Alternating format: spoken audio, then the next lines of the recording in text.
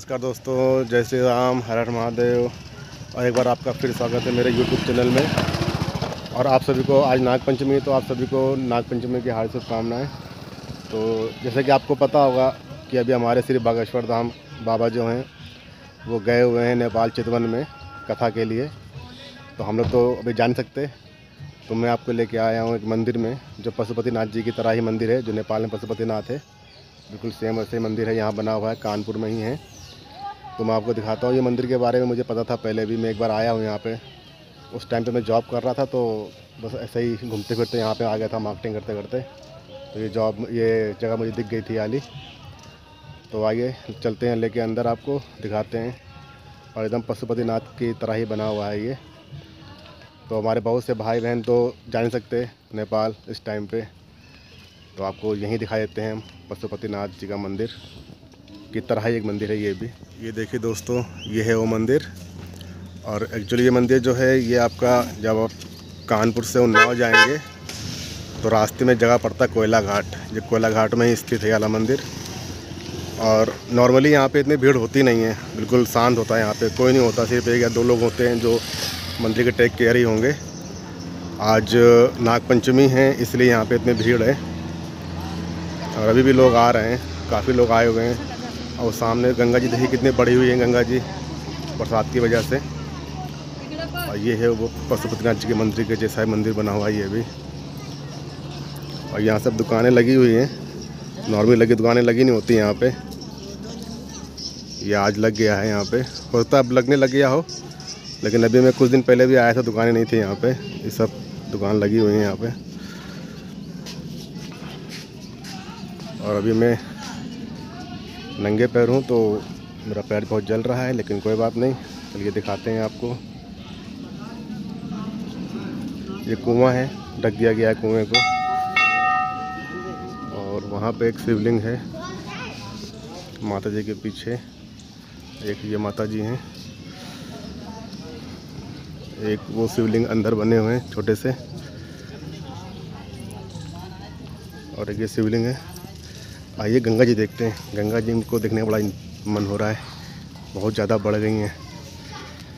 और ये हमारे बजरंगबली जी हैं। जय बजरंगबली दुकानें लगी हुई हैं फूलों की, दोनों तरफ़। और इधर भी फूलों की दुकान है। और ये है अंदर हमारे पशुपतिनाथ जी। आइए भी चलते हैं अंदर।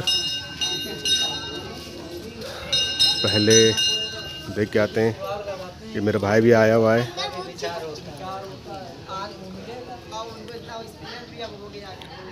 ये देखिए,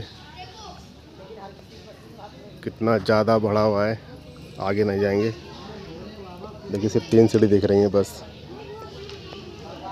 लास्ट टाइम आए थे तो पूरा नीचे तक, वहाँ तक जहाँ ये दिख रहा है आपका लोहे, उसके भी नीचे तक पूरा एकदम खाली खाली था पूरा। अभी तो बहुत ज़्यादा बढ़ गया है।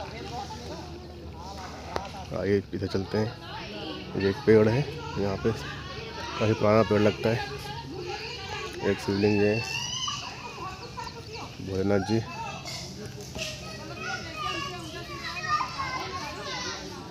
एक यहाँ पे शिवलिंग है। और यहाँ पे अपना वो जो फीमेल लोग हैं, उनका चेंज करने के लिए कपड़े वपड़े जो नहाते हैं गंगा जी में, उसके बाद।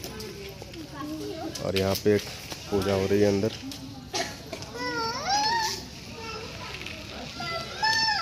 श्री कोलेश्वर महादेव जी का है ये मंदिर।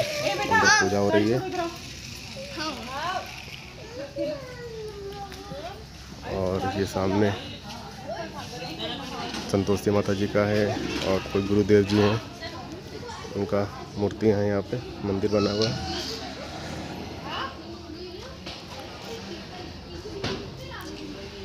बजरंग बली ये माता जी गणेश भगवान जी, बने हुए शेरा वाली का मंदिर है ये। बहुत बड़ा मंदिर नहीं है दोस्तों, छोटा सा मंदिर है। जो मेन हाईलाइट है वो यही है कि ये पशुपतिनाथ जी के जैसा मंदिर है हमारे कानपुर में भी। आइए चलते हैं मंदिर के अंदर। दर्शन कराते हैं आपको पशुपतिनाथ पशुपतिनाथ जी के अपने कानपुर में।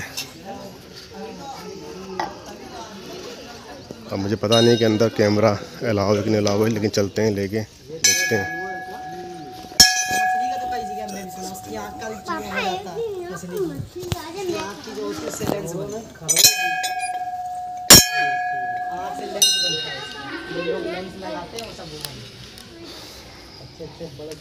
मेरा भाई आया है, पूजा कर रहा है।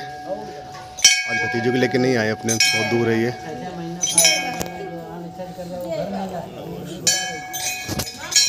बोला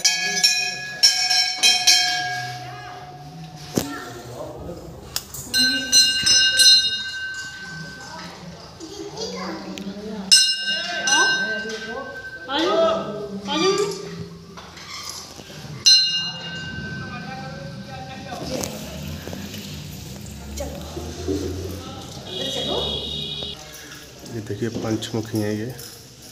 पाँचों तरफ़ इनका शीश है। और यहाँ भी शायद पूजा हुई है अभी। छोड़ इधर नहीं जाते हैं। कोई कोई पूजा हुआ है अभी तो जाना ठीक नहीं लग रहा है।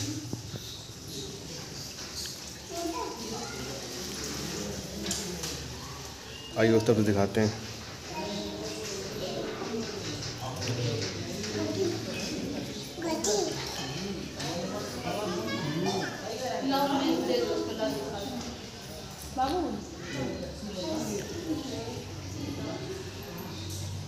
चलिए यहाँ से दिखा देते हैं आपको।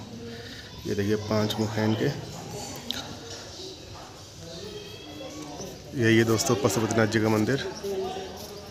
तो मैं जा चुका हूँ नेपाल के पशुपतिनाथ मंदिर में दो बार। तो बिल्कुल ऐसे ही बने हुए हैं वो भी। गंगा जी का लेवल देखिए दोस्तों। कितना ज़्यादा बढ़ा हुआ है इस समय। और अभी मैं जहाँ बैठा हूँ, वहीं पर बस पानी आया हुआ है। अगर इसमें गिरे एक बार तो फिर गए, कोई चांस ही नहीं है, अगर आपको तैरना नहीं आता हो तो। और दोस्तों, ये गेट बंद है। बंद नीचे से है के जा सकते हैं अंदर, लेकिन जाने का मन तो नहीं हो रहा है, क्योंकि कोई मना ना कर दे। और यहाँ पे जो है, ये काल भैरव तामस काल भैरव जी हैं। उनका मंदिर है ये। जब आप यहाँ पे आएँगे तो इनसे बच के रहिएगा। बहुत बंदर हैं यहाँ पे। ये आपके पास जो भी चीज़ें होंगी उसको छीनने का प्रयास करेंगे। तो आप देखते रहिएगा, कुछ बंदर यहाँ पर हैं। और कुछ वो पेड़ों पे खेल रहे हैं अभी। वो देखिए, उछल कूद मचा के रखे हुए हैं। वो देखिए। तो इस बात का ध्यान रखिएगा। अपने सामान वामान को ज़रा सुरक्षित रखिएगा। चलिए दोस्तों, चलते हैं यहाँ से अब। दोस्तों, अगर आप लोग को पशुपतिनाथ जी के दर्शन करने का मन है और आप नेपाल नहीं जा सकते किसी कारणवश तो आप यहाँ आ सकते हैं। यहाँ पे कानपुर में दो जगह है पशुपतिनाथ जी का मंदिर। एक तो आपका यही है कोयला घाट में। कानपुर मतलब उन्नाव मार्ग में है। उन्नाव जब जाते हैं, कानपुर से उन्नाव तो आपको मिल जाएगा। और एक आपका कल्याणपुर में है, वो तो काफ़ी बड़ा है। उसका वीडियो का लिंक, उसका भी वीडियो मैंने बनाया है तो मैं उसका वीडियो का लिंक मैं डाल दूँगा डिस्क्रिप्शन बॉक्स में। और एक आई बटन में लगा दूँगा वीडियो में तो आप देख लीजिएगा उसको भी। वो मंदिर बहुत अच्छा है। तो दोस्तों, यही है यहाँ पे। तो चलते हैं अब। तो दोस्तों, यहाँ चलते हैं अब। और अभी मैं आपसे मिलता हूँ किसी दिन किसी और वीडियो में। और अभी मैं मैं थोड़ा पूजा कर लेता हूँ। मैंने भी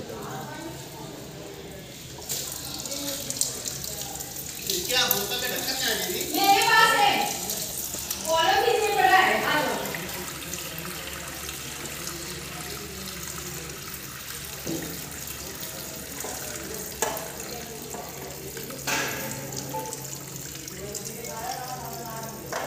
चलिए दोस्तों, चलते हैं यहाँ से। और आप सभी को एक बार फिर से नागपंचमी की बहुत बहुत शुभकामनाएँ। और अब मैं आपसे मिलता हूँ किस दिन किसी और मंदिर में। तब तक मैं ध्यान रखिएगा दोस्तों। जय श्री राम, हर हर महादेव। जय बजरंग बली